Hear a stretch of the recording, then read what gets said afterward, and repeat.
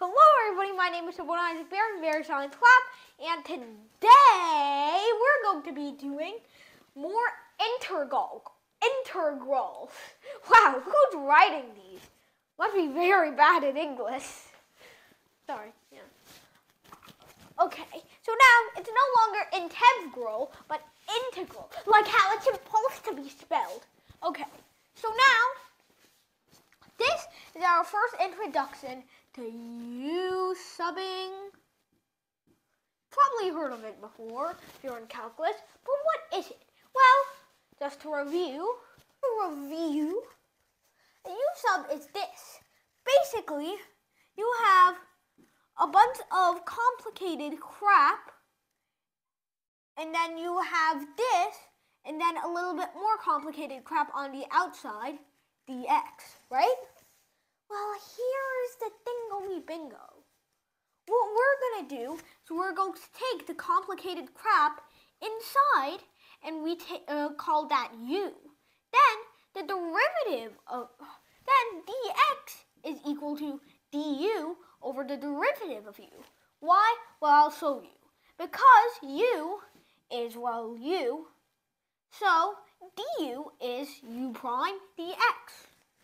So that means that dx is du over u prime. And then whatever u prime is, it will usually cancel out what is over here. So then you are simply left with the square root, not the square root, it can be anything, but in this case it's a square root, u, and then du. So you can differentiate it like a normal variable now because you're doing it with respect to something different, u itself. And then when all is said and done, mm, taking the integral of u to the 1 half, actually I shouldn't be forgetting this, this would be 2 thirds u to the 3 halves. And then all you gotta do is unsub the u, and that's it. Alright, so now let's try that strategy here. Now, there is nothing to cancel out outside these little square roots. But what is good is that taking the derivative of this leaves us with a constant. So let's take all this crap in here, call it u, and then we know that du, or dx, is equal to du over u prime, which is going to be the derivative of 4 is 0, and the derivative of t is 1, so minus 2t is going to be minus 2. So now that simply means that, oh wait, not, not dx dt. So now that simply means that this is now the square root of u, and that's times du over minus 2. So we have minus root u over 2 du. You can treat this like a normal variable now.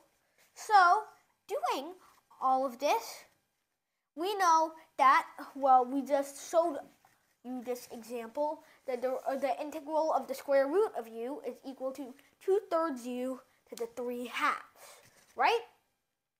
After inspection, it looks correct. So, now, because remember that we can take constants outside, this is equal to minus 1 half times the integral of u, so makes it minus 1 half times 2 thirds of,